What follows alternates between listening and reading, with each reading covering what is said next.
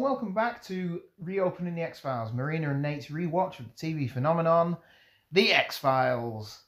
I'm Nate, also known as the Ultimate Movie Geek, and once again I am joined by the enigmatic Agent Powell. Aye, aye. You alright? Yeah, right. How are you doing? Not bad. Yeah? Yeah. Good. I say that like we haven't seen each other, but we've been you, been under my feet all day. Yeah. and I've been under your feet all day. Uh, so we're back for episode thirteen, which I think is a really, really, really good episode.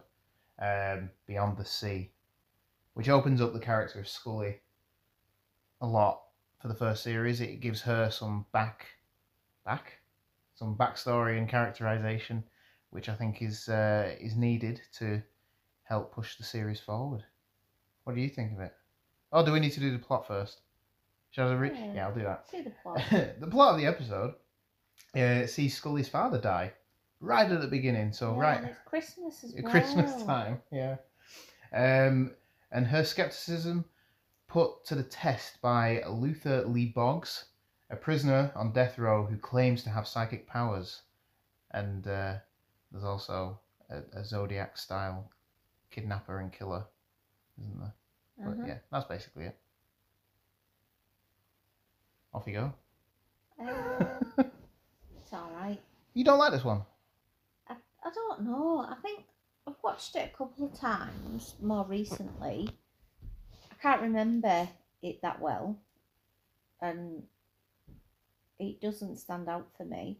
I think it's an interesting one because again it explores the sort of well you don't know what it is, like psychic ability to you know, connect with the dead and all the rest of that. Yeah. I think what's most interesting about this is that you see Scully believing in something Yes. for the first time. The roles are reversed, aren't Yeah. they, completely in this.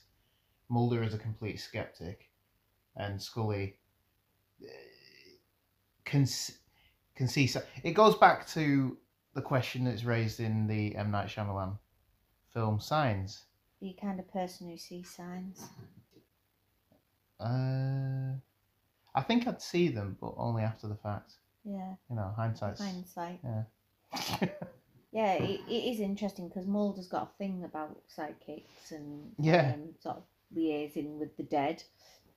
He's not a fan of it, is he? And he No. doesn't believe it's true, which is quite he wants to weird considering he believes in everything else. aliens and green men and chupacabras and werewolves and whatever else you can think of. Um, where Scully is very, very scientific, but I think what he's drawn on is that she's grieving Yes. as well, and grief, especially for a parent, is horrific. And you probably, if somebody is saying all these things that make sense to you about your dad, you would so more, you would want to believe that. You'd want to, you know, and I can speak from personal experience. You'd want to believe that person and think that your dad is trying to get you a message or whatever. So it's it's interesting because it's sort of it explores quite a few things in Yes. this episode. Um, I mean, obviously, a big thing that happens in this Mulder's shot as well, isn't Yeah. he? First time in the series. yeah. Uh, an early He's not shot for every series, but he's shot. First time in the series Yeah. of, of the X Files. he gets shot again. Yeah. Um, but yeah, so he's out of it a lot of this Yeah. episode. Um, it is more about a Scully episode, isn't yeah, it? It's a Scully episode. The guy yeah. who plays a serial killer, what's Brad it? Dourif Yeah, played. Um, he voiced Chucky. Oh, I suppose he was in it as well. He played. played Yeah, he was a He was also uh. Grima Wormtongue in, in Lord, of the Rings. Yeah, he's actually a very good actor in this. I, I was laughing. I was like, he's Oh. proper, proper going for his Oscar there. But like Not you just said, this, he's a good actor. yeah, He uh, he was he, he's um, he was Oscar nominated. Yeah. He, he's very good in this. Yeah. Um, plays the part very well of the man on the death, you know, death row. Yeah, he does. Yeah. who's desperate, um, and you kind of you don't I mean you don't feel sorry for him, but he's actually telling the truth. Yeah. Yes, he is. You don't really 'cause- get what's going on. It's weird. No, well, I think you have to take everything that he says as With a pinch- truth. Yeah. because there's a moment in it where because like like I say we said Mulder is the skeptic in this episode he goes in with a piece of cloth that is in an evidence bag, which he's Mulder's pretending is part of the crime scene, and he hands it to, to Boggs. And Boggs does all this, like he said, Yeah, he's going through his Oscar. He's like, ah, I can, Hurt, oh, hurt. I'm seeing a Yeah. a and stuff, stuff like that, and uh, and then I'm seeing the word. I'm, I'm seeing the word nonce. a. Nonce. That's Phoenix Nights if I knew what I look like. I look at you. Look at you, I'm getting the word. word nonce.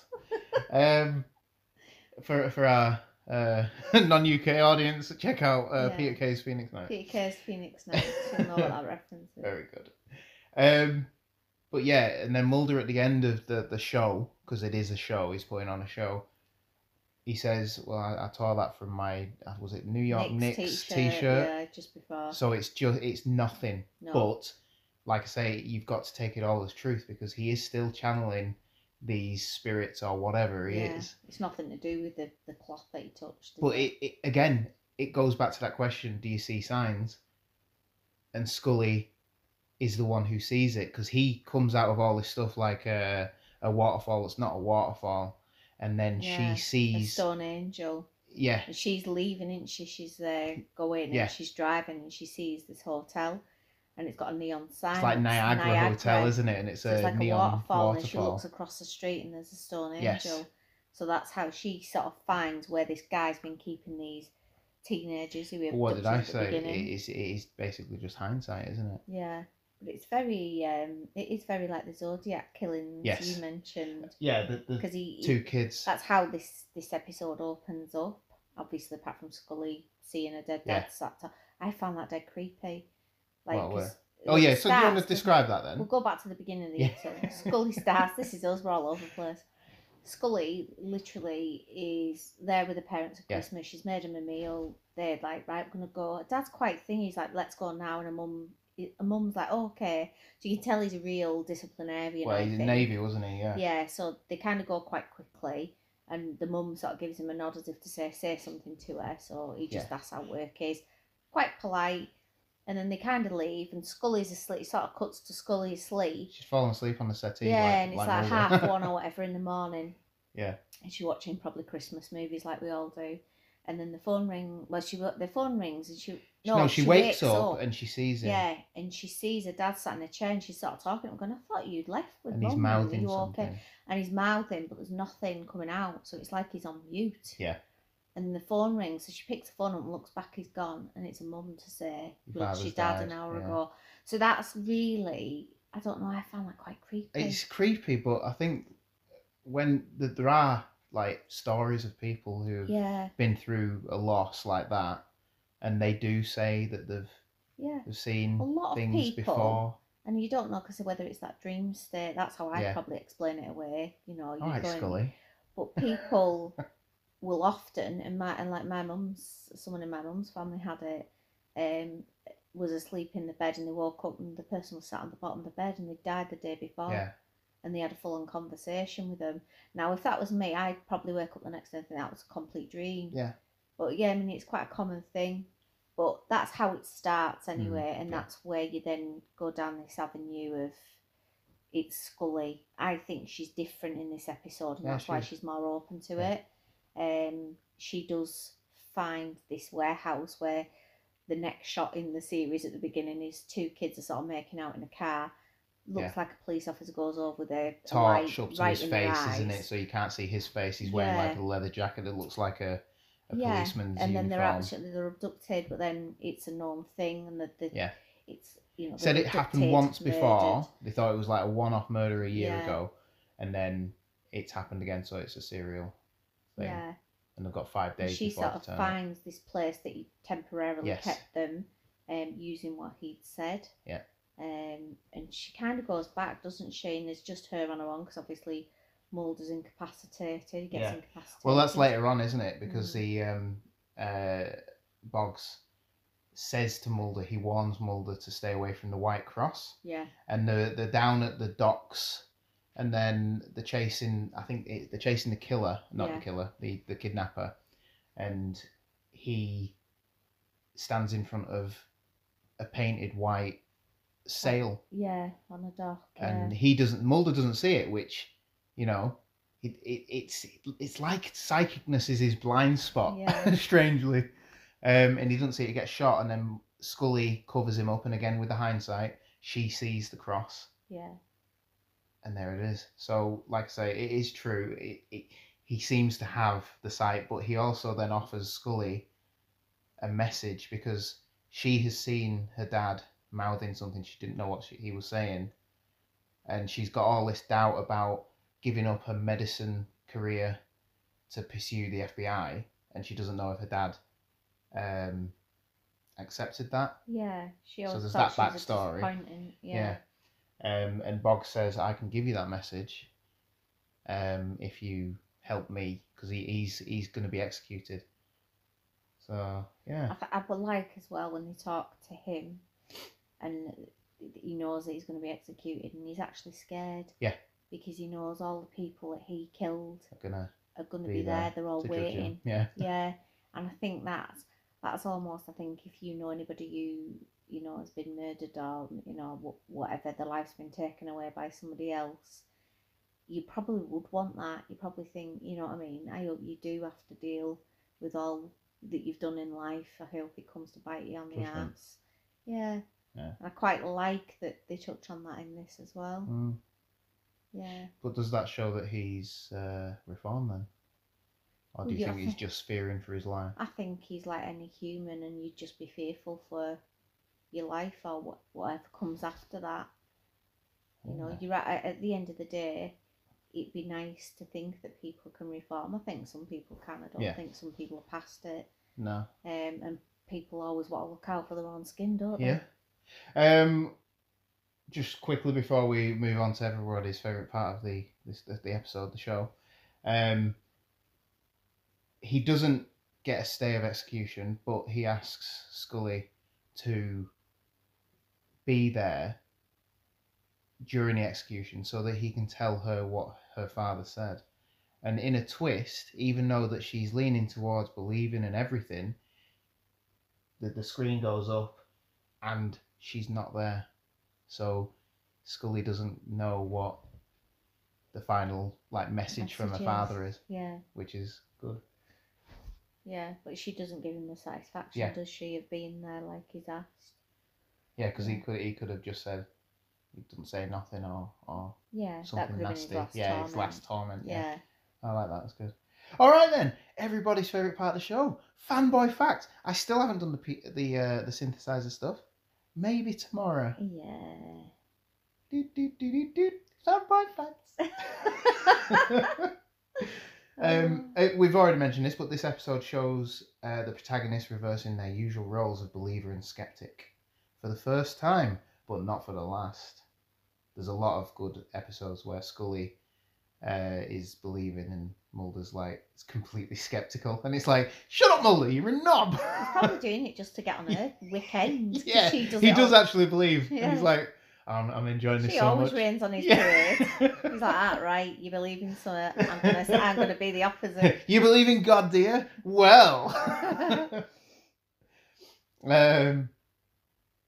Oh, I've uh, I've not written that one down properly, but uh, the writers Morgan and Wong, um, their episode was written in response to criticisms of the show's uh, limited characterization of Scully.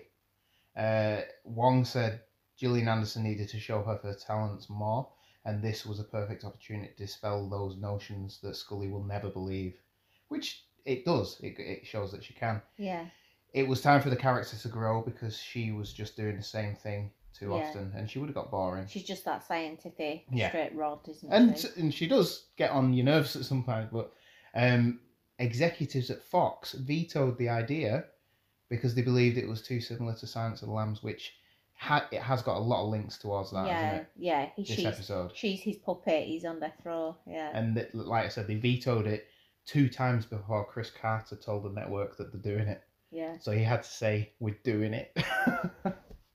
but you have to have that characterization for if to it's a, grow. yeah, if it's a two-person show, you can't just focus on one person no, because it things go stale. Uh, Chris Carter had to lobby uh, hard for the casting of Brad Dourif as serial killer Luther Lee Boggs. Dourif was more expensive than the usual guest star, uh, but Carter knew that he would be perfect for the role. He rang the president, Peter Roth, at his home on Thanksgiving to plead his case. Roth agreed to it mainly because he wanted to get back to his dinner. Now I don't know if this is true. I'm just getting this off off the what I like internet. that. But yeah, You're like, come on, my turkey's going cold. yeah, right. Get off, Chris. Go away. Um, uh, this is one of Gillian Anderson's favorite episodes, which is understandable because she's getting most of the screen time, isn't she? screen at- yeah, And time. it's also Chris Carter's favorite episode of the season. Uh, which is strange because it is it's away from the main story, yeah, isn't it? It is. It's again, it's a kind of standalone one, isn't Yeah. it? Uh, in the scene, this is this is what interests me and made me laugh when you were talking about the, the scene with her father. In the scene where he appears in as a vision, um, Don S. Davis, uh, the actor who plays Scully's father, is mouthing the Lord's Prayer. So we'll have to go back and look and see which part of it Yeah. it was. Uh, one of the killers named uh, the the killer's name is Lucas Henry. Um, there was a real life American serial killer named Henry Lee Lucas, uh, subject to the movie Henry Portrait of a Serial Killer in 1986, which starred oh, Yondu from Guardians of the Galaxy, Michael Rooker. All right. Remember that. Uh, Mulder addresses Scully as Dana while inquiring to her well-being in the first scene, presumably because he heard of uh, her father's death. She hesitates and mouths her name to herself before responding, "Fine." I don't, I don't think I noticed that. You set us up. You're in on this with Lucas Henry. Yeah. This was a trap for Mulder because he helped put you away. Well, I came here to tell you that if he dies because of what you've done, And then later on, four days from now, nobody will stop me from being the one that'll throw the switch and gas you out of this life for good, you son of a bitch! uh, uh, the Dana, of the episode, you're the one that believed me. From the coat rack by the door in the office, No! Phoenix No, I do not believe you! baseball cap. My cap. I cat. couldn't cat. say nightcap cap. That's how it's Maybe you written. believe yourself. Nightcap, baseball cap from the episode Fallen Angel. Hanging up. Uh, while the series is known for its alien storylines and mutant standalone stories, it has also dealt extensively There was in the area of seemingly That one time when I was 14, And my parents had gone to bed, and I snuck downstairs all alone. which also goes to Got one of my mom's cigarettes and went out onto the porch in the dark. I was so scared. Um, Brad. Now, My this heart is was uh, a beating. link- I mean, they would have link killed me if they knew. God's sake, I can't talk. This But I links was one of the so earlier excited. Not because of the the cigarette, I mean, it was gross, nominated actor to guest star in the show. Because I wasn't supposed to. First season was. You can't remember? Do you remember which episode? It could be a moment from any. Carrie Snodgress in the fourth episode. I know what you want, Because we talked about that. Yeah. and I know who you want to old talk lady to. Annoying voice, Yeah. Yeah, that one. Why don't you just go ahead and ask me? That was more uh, Joe Exotic, wasn't it? Joe Exotic. I believe you. I blame Cal If you let Uh, it's the Talk to second him. time the line "I want to believe" is heard in the series. The first was nine episodes earlier. In which episode? Conduit Conduit. again. and that's the end of fanboy facts. there we go. I'll, I'll try and do that camera. Yeah, no, that it, like I say, it's uh, it's not a lot of stuff. Yeah. Going through that, that I, episode. it, it's, I mean, I do it. I don't enjoy it. Can't say I don't enjoy it, but it's not one of my favourites. No, it, well, I think it's got. There we. We, Starbucks. we, ju- we, we have these uh, playing on in the background silently, and it's just got to the scene where Bob is about to be executed. His stool's. Oh, he's Anyway. No, no, Tomorrow, No! one, which Nobody talks to anybody until I get a deal. our eldest, we had to skip through it because it uh, It's too old. Don't it's too old. Yeah. underestimate my fear of dying, and uh, don't downplay my terror going back to that chair. Remember, you can follow on Twitter at Movie Ultimate and Instagram and Facebook on at Ultimate Movie Geek. please share, like, and subscribe, and we will see you tomorrow. Stay safe. I made this. Oh, no, it's gone off.